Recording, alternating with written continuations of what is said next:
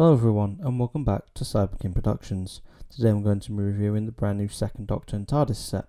Let's jump into it. Starting off with the box has the same colour scheme as the previous B&M sets, with the blue covering the majority of the box with the white for the text. The style of the box is also the same, with a picture of the TARDIS and Gallifreyan text on different segments of the box. The Doctor logo is shown at the top, second Doctor and TARDIS from the War Games at the bottom, exclusive Doctor and TARDIS set in a red box, and it also states that it's in a 5 inch scale and is part of the collector series. A large window covers the front of the box that spills over to the left side to get a better view of the set. Also on the window is the limited edition sticker, which I've always found to be pointless. The left side of the box just repeats information, but with an added bubble of text in form of the opening doors. The right side is a picture of the contents of the set, with even more repeated information. The back features even more repeated information and a brief description of the wargame story, so give the video a pause if you want to give that a read. There is also some legal gobbledygook in the bottom left. The top has more repeated information, apart from the added character options website URL. The bottom has tons of legal gobbledygook, but gives a quick instructional image about how to open and close the TARDIS doors. The background displays of the SIDRAT room from the War Games. Now with the box out of the way, let's take a look at the second Doctor and TARDIS. So here they are, the second Doctor and TARDIS. It's not half bad.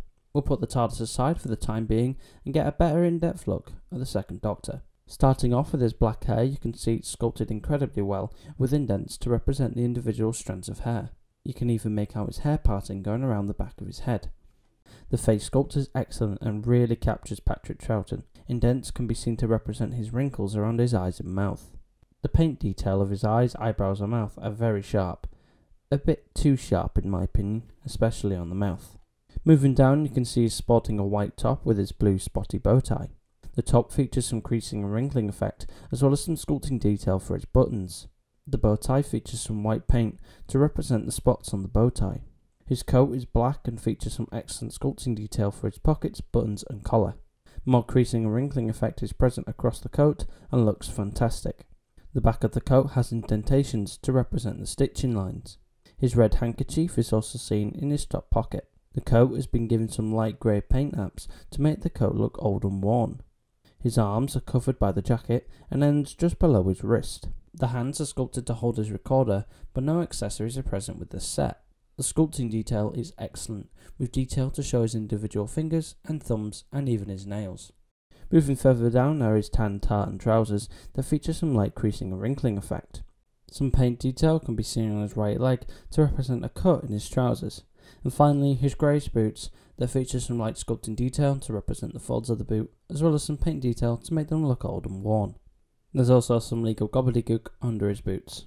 Turning to articulation, his head can only be turned slightly and is incredibly stiff, so I would advise against turning his head.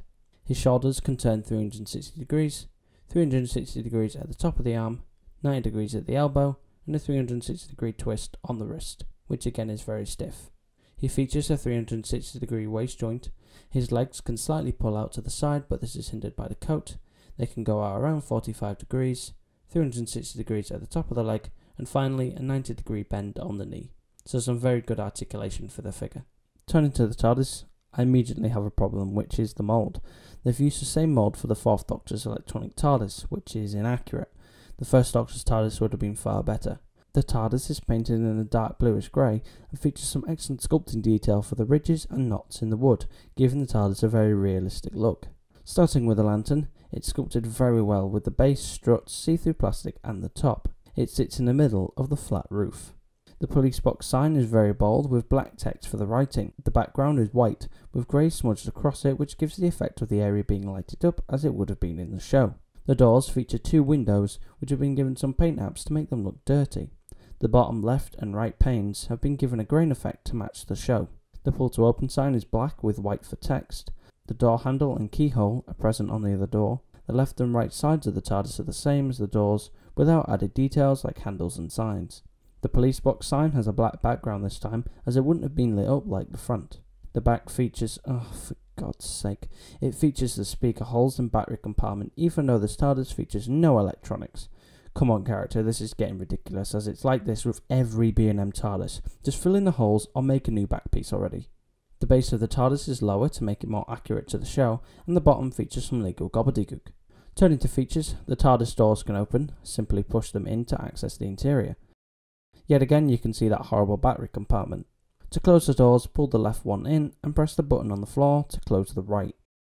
As you can see in the size comparison, this set looks great when put with the Doctors and TARDISes, or even against his enemies. So overall, what do I think to this set? It's not bad. I'm really happy they finally gave us the second Doctor's TARDIS, as now we only need the sixth, eighth, and a War TARDIS, and we have the whole lot. Like the Dalek sets, my main problem is that it's a B&M exclusive, which has been hurting fans for years, as they can't easily find them due to people buying them all and selling for ridiculous prices. With that aside, I can't wait to see what TARDIS they give us next. I really hope we get Sixth Doctor's TARDIS. Oh. Maybe next time then. So that concludes this review. If you liked it, please leave a like and tell me what you think in the comments below. If you enjoy Doctor Who content, then also subscribe to not miss any more figure reviews, as well as the Doctor Who fan series that is currently in production. Thank you all so much for watching, and until we meet again, goodbye.